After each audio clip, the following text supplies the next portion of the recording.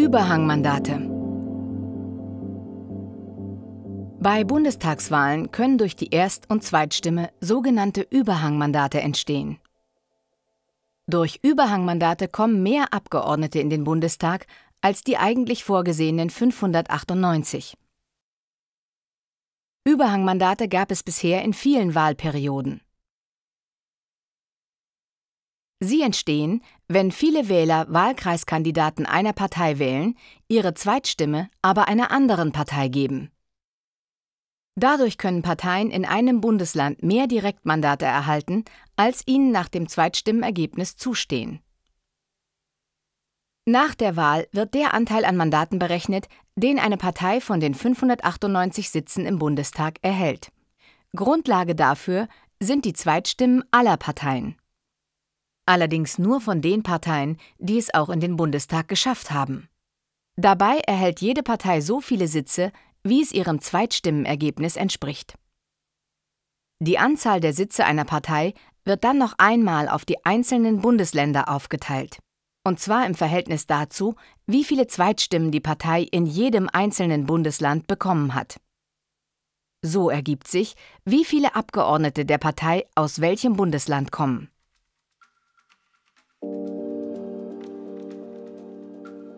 Die A-Partei hat zum Beispiel in Brandenburg anteilig so viele Zweitstimmen bekommen, dass sie fünf Kandidaten in den Bundestag schicken kann. Jetzt kommen die gewonnenen Erststimmen ins Spiel. Drei Kandidaten der A-Partei haben in ihren brandenburgischen Wahlkreisen die meisten Erststimmen bekommen. Das heißt, sie haben für ihre Partei drei Direktmandate gewonnen. Das Wahlgesetz sieht vor, dass jeder Kandidat mit Direktmandat einen Sitz bekommt. Daher erhalten zunächst die drei Direktkandidaten drei der fünf Sitze. Die restlichen beiden werden mit den Kandidaten der A-Partei besetzt, die oben auf der Landesliste stehen.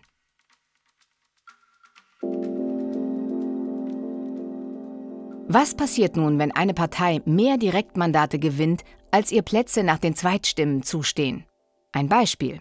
Die B-Partei gewinnt in einem Bundesland acht Direktmandate. Gleichzeitig erhält sie aber nur so viele Zweitstimmen, dass ihr in diesem Bundesland eigentlich nur sechs Sitze zustehen. Trotzdem darf die B-Partei alle acht Abgeordneten aus diesem Bundesland in den Bundestag schicken. Sie hat zwei Überhangmandate. Dadurch erhöht sich die Zahl der Abgeordneten im Bundestag zunächst um diese beiden Plätze von 598 auf 600.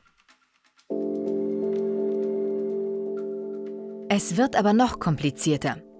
Die bisherige Regelung zur Berechnung der Sitzverteilung konnte zu widersprüchlichen Ergebnissen führen, dem sogenannten negativen Stimmgewicht. In Kombination mit den Überhangmandaten war es möglich, dass mehr Zweitstimmen für eine Partei in einzelnen Bundesländern zu weniger Sitzen für diese Partei im Bundestag führen konnten.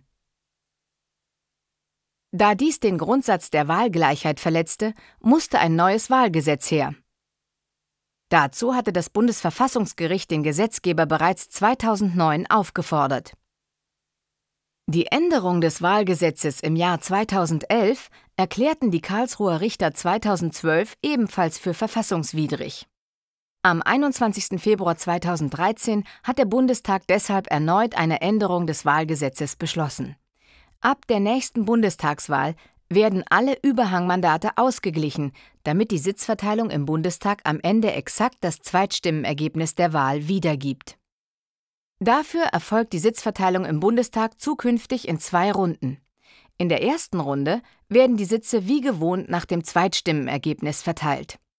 Außerdem erhalten natürlich alle Kandidaten, die einen Wahlkreis gewonnen haben, direkt einen Sitz im Parlament. Treten bei dieser Verteilung der Sitze nun Überhangmandate auf, folgt eine zweite Runde. Nun wird die Gesamtzahl der Sitze im Bundestag so lange erhöht, bis alle auftretenden Überhangmandate auf Listenmandate der Partei anrechenbar sind. Die anderen Parteien erhalten im Gegenzug, abhängig von ihrem Wahlergebnis, Ausgleichsmandate. Daher wird es keine Vorteile durch Überhangmandate mehr geben. Durch diese Neuregelung könnte der Bundestag auf bis zu 800 Abgeordnete anwachsen. Wären mit diesem Verfahren schon nach der Wahl 2009 die Sitze verteilt worden, hätte das Parlament nach einer Modellrechnung des Bundeswahlleiters heute 671 Sitze statt der aktuell 620 Sitze. Zum Effekt des negativen Stimmgewichts kann es nun aber nicht mehr kommen. Und bei einem knappen Wahlausgang kann das Zweitstimmenergebnis nicht mehr durch Überhangmandate verfälscht werden.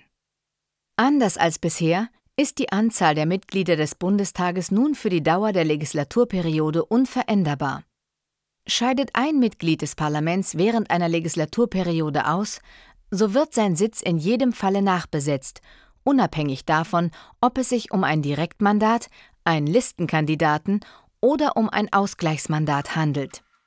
Es rückt ein Listenbewerber der Partei aus dem jeweiligen Bundesland nach. Bereits bei der nächsten Bundestagswahl am 22. September 2013 wird das neue Verfahren zum Einsatz kommen. Mehr Infos gibt es bei der Bundeszentrale für politische Bildung.